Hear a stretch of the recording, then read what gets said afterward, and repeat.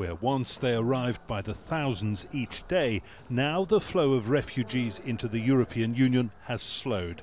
In this shelter run by the Red Cross in Vienna, 90 people wait anxiously for their asylum claims to be decided.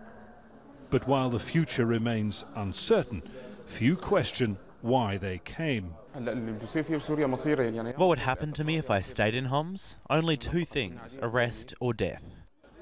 Much of Europe continues to grapple with the refugee influx that has fueled nationalism and challenged European values and solidarity. Here in Austria, they will soon rerun the vote that earlier in the summer came within a whisker of electing the European Union's first ever far right head of state. The rise of the right is a theme that Austria shares with many of the countries on the so called Balkan refugee route into Europe. Harald Vilimsky belongs to Austria's far right Freedom Party, currently leading in the opinion polls. First, we issued an invitation to everyone in the Arab world and Africa, and then realized that we cannot cope. Many reject the Western way of life. We notice that crime is exploding.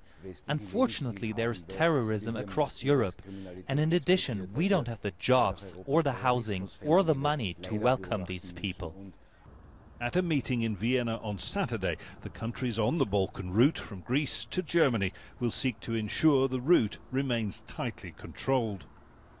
They know that a fragile deal with Turkey to halt the flow of refugees could easily break down, with obvious consequences.